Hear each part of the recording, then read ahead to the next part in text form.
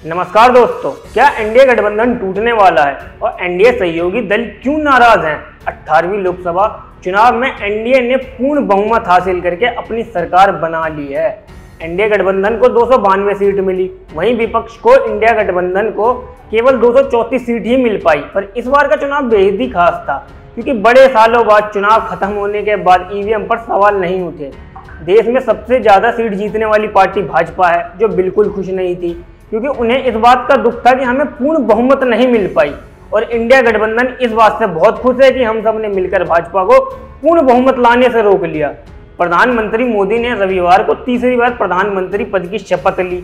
PM Modi के साथ 30 cabinet मंत्री, पाँच राज्य स्वतंत्र प्रभार और 36 राज्य मंत्री ने भी शपथ ली। शुरुआत में हर जगह से यही सुनाई में आ रहा था कि जेडीयू ने रेल मंत्रालय मांगा है या टीडीपी ने सड़क एवं परिवहन मंत्रालय मांगा है। प्रदेश के सारे बड़े मंत्रालय भाजपा के पास ही हैं, जैसे गृह मंत्रालय, विदेश मंत्रालय, वित्त मंत्रालय, रक्षा मंत्रालय, सड़क और परिवहन मंत्रालय और रेल मंत्रालय।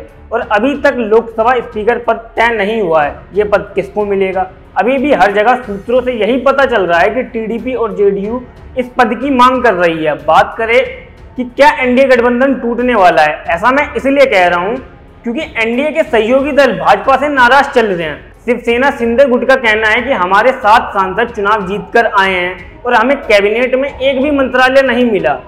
श्रीरंग बांडे का कहना है कि एक तरफ़ चिराग पासवान, जीतन राम मांझी और एच कुमार स्वामी की पार्टी को कम सीट मिलने पर भी कैबिनेट मंत्रालय दे दिया गया। वही हमारे पास सात सांसद हैं। उसके बाद भी हमें सिर्फ़ स्वतंत्र प्रभार और राज्य मंत्री का पद ही दिया गया।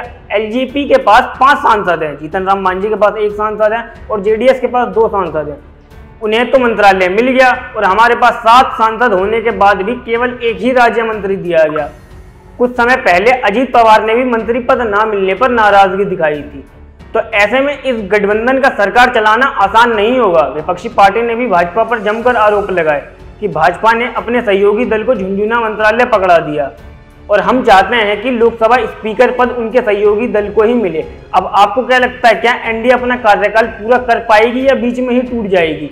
और लोकसभा स्पीकर पद किसे मिलेगा? अपनी राय हमें ज़रूर दे। तब तक के लिए आप देख रहे थे वी युवा। मैं निखिल कुमार, कैमरा पर्सन आदित्य के साथ।